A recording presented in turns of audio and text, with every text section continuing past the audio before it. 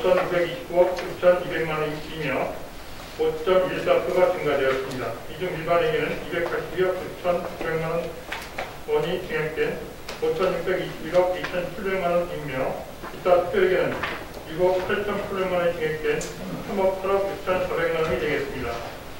다음 3쪽 일반에게 세입 내역입니다. 제가 보면 작년 예산을 갖다 그대로 따라 놓은 것 같아서 말씀.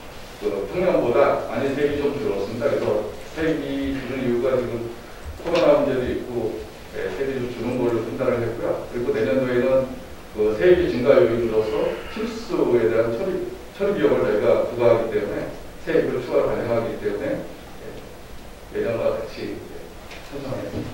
그 대개소가 후보지로 올라왔었죠. 네, 이제 내부 내부시 예, 현충값 지금 발전이 현충값 인근 네, 그리고 한석공 도서관 인근이 이제 두, 둘째 아니고요. 그리고 대공이 그 공설 공설묘지 그 재개 어, 이렇게 파묘한데 네, 거기가 사망으로 알고 있고 4는 청평의 홍익표 어, 기념관 부지로 알고 있는데 네. 어, 이제 배라수 의원님들이 이제 근심과 걱정을 하셔요.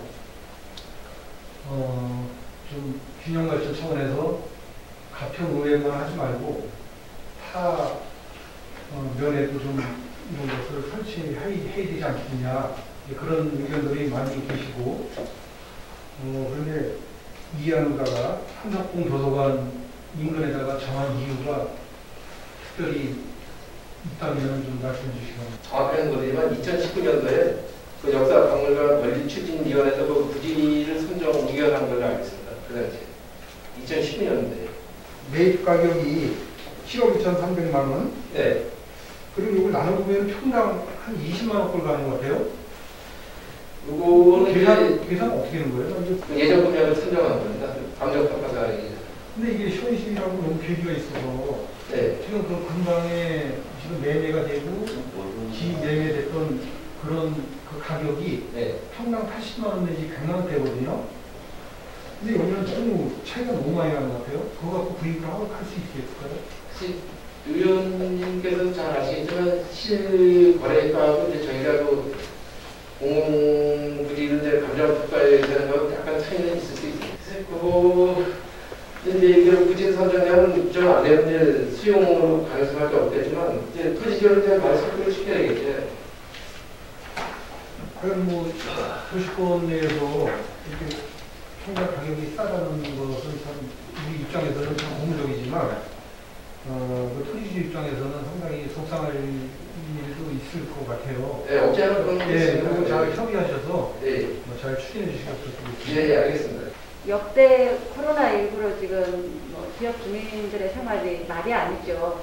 세수도 줄어들어서 지금 어, 예산 걱정을 하시고 계시는 와중에 공약 사업이라고 해서 지금 저희가 가평군의 어, 역사박물관뿐만이 아니라 지금 어, 문화원이 지금 건립 중에 있고요. 또 평생교육 사업소가 지금 또 어, 건립을 하시겠다고 지금 추진 중에 있습니다.